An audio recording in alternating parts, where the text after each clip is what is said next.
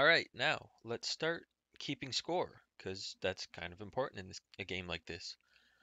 Now, while we're in the ball, we want to know if the ball it touches the right side or the left side to increment scores. Now, unfortunately, in the sensing, we don't really have, like we have touching for mouse pointer, edge, opponent, or paddle, but we don't have anything that'll tell us if we're touching the left edge or the right edge. Scratch has no idea. So instead of a touching thing, we're going to sense if the ball goes past, if it goes too far to the right. So like if the ball goes this far right, it's past the paddle, we'll call that a point. So the way we're going to keep track of this, we're going to go to motion and we want to see the X position of the ball because that's the left to right. Now we'll drag the ball so it's almost touching the wall, but not quite. Because if it touches the wall before it reaches the number that we're going to choose here, then it's just going to bounce and it's not going to count a point. So if we take a look at this and we see the ball is almost at the edge, we have the ball position is 213. So essentially, if the ball reaches an X position at 213, that should be a point for the AI. So if we go into control and grab a couple if blocks out of here, we'll grab two of them, put them underneath each other. And now we need to go to uh, operators and we're going to grab a less than and a greater than. So now for the opponent to get, a, to get a point, the X position has to become greater than 213 for me. So here's the greater than one that I made. So we'll put 213 in there. And then, actually, uh, yeah, 213. And then if we go negative, probably be able to use the same number. Negative 215. Actually, let's let's use 215 for both just because it's a nicer number. And it should still work. So 215. Now if we go back to motion and drag X position into both of these, we are now checking if the X position of the ball goes less than negative 215. So if it goes any farther left than it is right now, that's a point. And if it goes any farther right, if x position becomes greater than 215, means if the ball gets any greater than this, that's a point.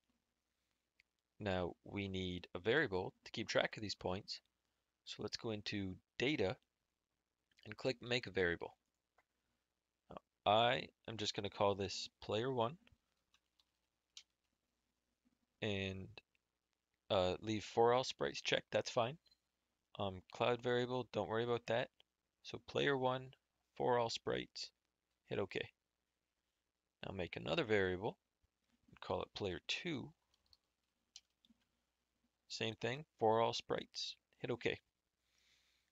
So now we have two variables that we can use to keep score. So you see them showing up on the screen over here. So if we hit change by one, that means it's going to get bigger by a value of 1. So if we drag that out here, now, if x position is less than 2215, so that means if the ball hits the left wall, that should be a point for player 1, because this paddle did good. So we'll go change that, click the arrow, click player 1. Now, if the ball was greater than 215, that's a point for player 2. So grab change player 2 by 1 and throw it in there. Make sure you're using X positions here, not Y positions. Otherwise, it won't work. Now we can go to motion and uncheck the X position because we don't need that up there. And let's just drag these up to make them look a little bit nicer. So put player 1 on player 1 side, player 2 on player 2 side. Now, oh, another thing, when you're using variables, you always want to initialize them. Because right now, it doesn't have a starting value. It will most likely be zero, but you always want to be sure uh, that you know what your value, your variables are starting at. So if you go set player 2 to 0 and grab two of those and make one of them player 1 and one is player 2. So now what this is saying is when the green flag is clicked, a variable called player1 is set to 0 and a variable called player2 is set to 0. And then everything we had before, it's going to go to the center. It's going to not rotate. It's going to pick a random angle. All of that stays the same. And then if the ball ever hits the left side, it, it's going to count as a point. If the ball hits the right side, it's going to count as a point for player 2. Now if we hit run,